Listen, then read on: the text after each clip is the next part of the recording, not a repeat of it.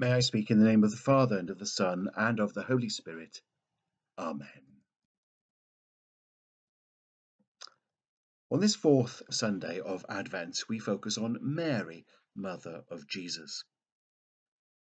As we do this, as we light the last of our four coloured candles on the Advent of the Advent wreath, leaving the white one in the centre for Christmas Day itself.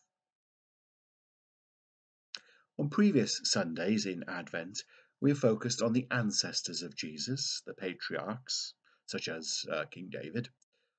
We've also focused on the prophets who have foretold the coming of the Messiah, people such as Isaiah. And last week we looked in particular at the ministry of John the Baptist, who was the greatest of all the prophets, and who brought the Old and the New Testaments together. Today, on this fourth Sunday of Advent, we look at the woman who made it all possible Mary, Mother of Jesus. The account from Luke chapter 1 is always used on this day. Famously, our reading today is the beginning of what is often sung in non COVID times uh, during evensong. It's known as the Magnificat. Mary is minding her own business, getting on with the housework perhaps, when suddenly the Archangel Gabriel appears. It's a meeting depicted thousands of times in medieval and other works of art. Indeed, this style of painting has become known in the art world as an annunciation. Gabriel, chief messenger of God, announces to Mary, hence the word annunciation, that she is going to give birth to a baby boy.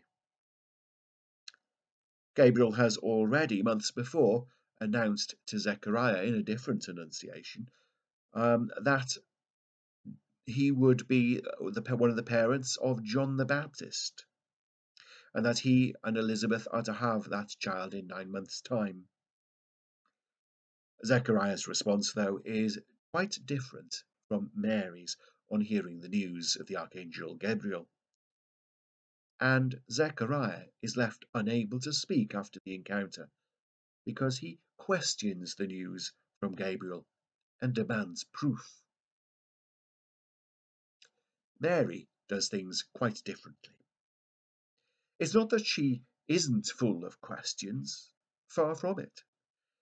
The angel knows that she's scared, and that's quite reasonable. But she doesn't question the plan she doesn't question the motivation.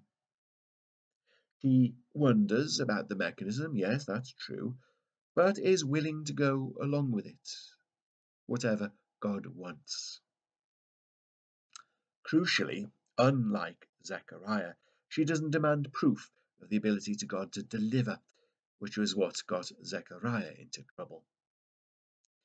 If he'd had questions and even voiced them, yes, he would have been okay, um, God created us human, and curiosity is therefore divinely created. But it's not okay to question God's word or his sovereignty or his ability to deliver on things in this universe. Hence, Zechariah was given a reminder about speaking inappropriately.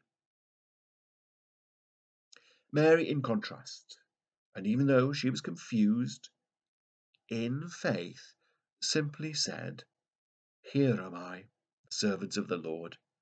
Let it be with me according to your word. It was an act of submission, dependent upon faith alone. She was indeed frightened. She was indeed worried. She was concerned too about what Joseph and her family would say, and what they would think, what they would do. As I've said before, the death penalty could have been called for. But this plan was of God, and that was enough for Mary for now. And it is at this point that, of course, we could get bogged down in Mariology, the, the study of all sorts of things to do with the Blessed Virgin Mary, and that would be very worthwhile, as she is an example to us all. But today is the fourth Sunday of Advent. And we need to do something different today. We need to do different work today and not get lost in a discourse on all the features of Mary that made her wonderful. In fact, we could leave that until March the 25th, the feast of the Annunciation, couldn't we? But because today is the last Sunday of Advent, we need to draw together the threads that make the incarnation possible. We need to draw together uh, this lust of our coloured orbital candles, if you like, around the Advent wreath and bring it to the white one at the centre, the one which we light on Christmas Day.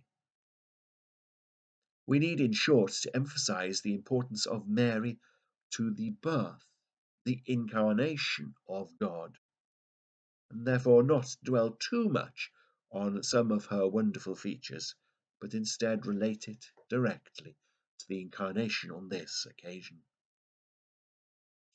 We need, in short, to emphasize Mary as Theotokos, the God bearer, who made possible God's plan of salvation by giving birth to Jesus, who was God made man. The candles of Advent are a countdown to this incarnation, which we celebrate, of course, on Christmas Day. The ancestors created the line through Joseph. The prophets announced the coming of the Messiah. John the Baptist pointed the way forward and later physically identified Jesus. And Mary made the birth possible. But not only that, Mary was involved in many other things. She was involved in Jesus' safety as they, as a family, rushed to Egypt to escape armed killers. She was involved in his well-being and upbringing, first as a refugee in a foreign land and, and then as a Jewish boy in a Jewish village.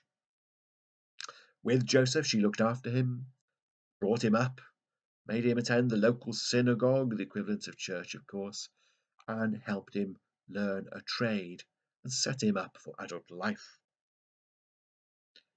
Later, of course, she was involved in Jesus' burial, and afterwards was an important witness to his many resurrection appearances. But most of all, Mary made the incarnation possible. She enabled God to become man through an act of selflessness and faith. There is certainly a message in Mary's, response to God's call for all of us. But perhaps there is another message too. We might not get a visit from an archangel announcing what God's plan is for us in this life. But we can be sure that God does have a plan for each and every one of us. Therefore, the thing for us to be aware of, uh, the thing for us to discern is God's calling for each and every one of us. Even though we might think of ourselves and our situations in life as being quite ordinary. Remember, that was the case for Mary too, 30 seconds before an archangel arrived in her house. We need to use the time that is given to us this Advent to try to discern God's will for all of us. And then, in faith, to respond appropriately, fully, warmly, and even if we are afraid. This Advent, give in fully to the grace of God, which makes all things possible for people like Mary and for all of us. Amen.